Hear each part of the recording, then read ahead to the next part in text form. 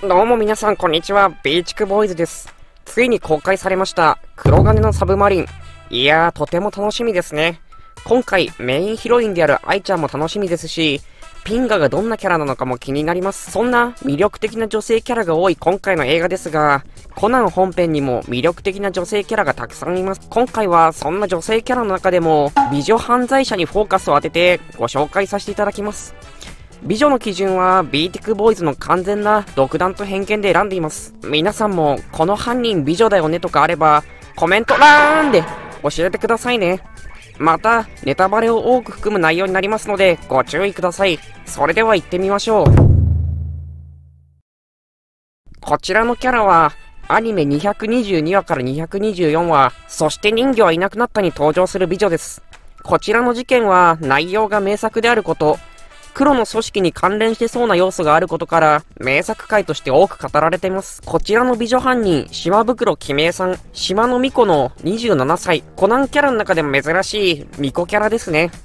こちらのキャラは、復讐心から殺人を犯しますが、同情できる内容であることや、美女犯人特有の良識があり、コナンサイドにも親切なキャラのため、誰もが犯人であることにショックを受けました。見た目が素朴な美人という感じで、巫女さんなのに少しどこか現実的なところや茶目っ気がある感じがとても可愛らしいキャラをしています。また、特筆すべき点に100歳超えのキャラに変装できるというとんでもない特技を持っています。いや、普通に凄すぎでしょう。しかし、君江さんは島民のために変装しており、それを皆が実は気づいていたという、少し悲しいオチが最後についてきます。君江さんの優しさに島民もすがってしまい、最後に謝罪しますが、もし島民がちゃんと最初から話せていれば、犯人にならずに済んだと思うと、やるせない気持ちになります。この事件は、本当にコナン初期特有の重厚なストーリーと名シーンが大量にあるので、ぜひご視聴ください。こちらの犯人は、アニメオリジナル826話、美女と嘘と秘密に登場する犯人。アニメオリジナルは、良作とクレイジー界が混ざっているので、面白いですよね。今回の美女は、かなりアダルトな魅力あふれる、滝沢美咲さん28歳です。いい意味で、さっきの君江さんと1歳差とは思えませんよね。こちらの犯人は、犯行動機は割と身勝手ですが、それでいて、なぜか憎めない魅力があり、特にコナン君とのやりとりは、どこかドキドキしちゃうものがありますね。特に、いちいち行動や仕草が、えな感じなので、お姉さん好きの紳士の方は多分好きになる犯人ですね。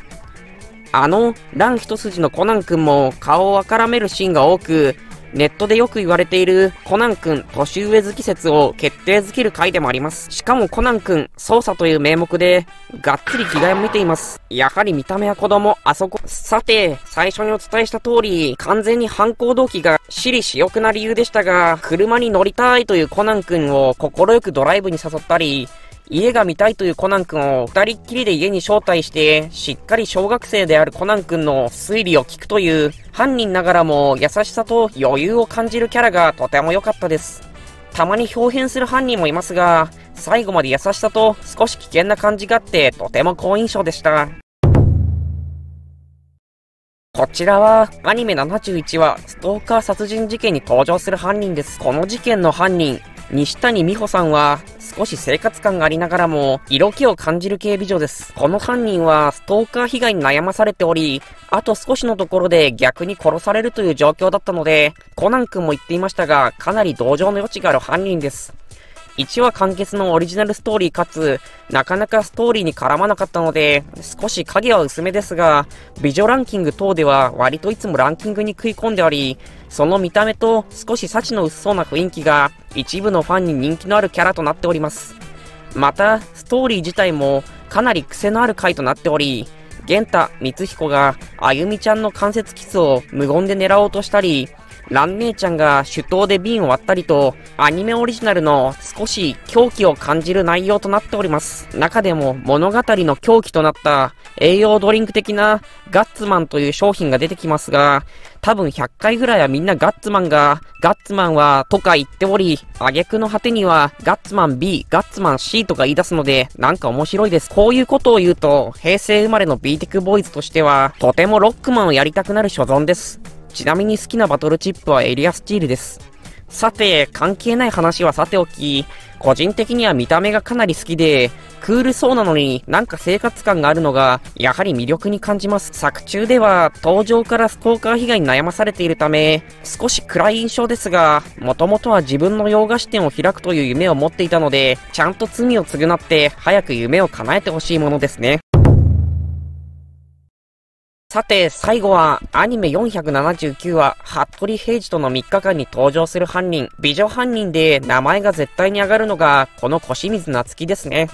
ボーイッシュな見た目、僕っ子、さらに博多弁という可愛いの要素を詰めまくったキャラとなっております。見た目の良さもありながら、少し服部平次に好意があるような発言も、視聴者をドキドキさせてしまい、登場時から多くのファンを生み出してしまいました。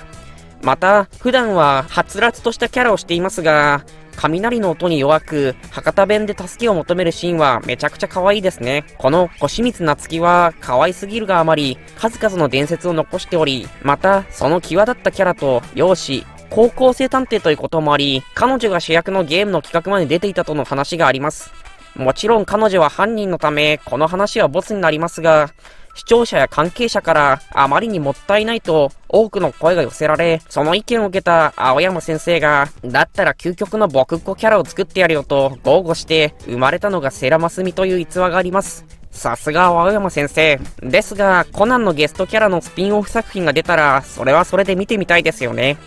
また、この回のもう一人の高校生探偵の時津淳也も一部の間では人気があります。ちなみに殺害されてますけどね。女子高生探偵と言ってますが、本当の年齢は20歳であり、おそらく未成年が殺人を犯すのがストーリー的にまずいという理由もあり、調整が入ったのかもしれませんね。どちらにせよゲストキャラの、しかも犯罪者にしてしまうのが一番もったいないキャラであり、全視聴者にショックを与えたのでした。いかがだったでしょうか？コナンの世界は美女が多いですが、こうやって最終的に犯人だと、ショックを受けたり、最後までただの良い人だったりすると、少しほっとしますよね。皆さんも、この犯人が印象に残っている、この犯人が好きなどあれば、コメント欄で教えてくださいね。それでは次回の動画でお会いしましょう。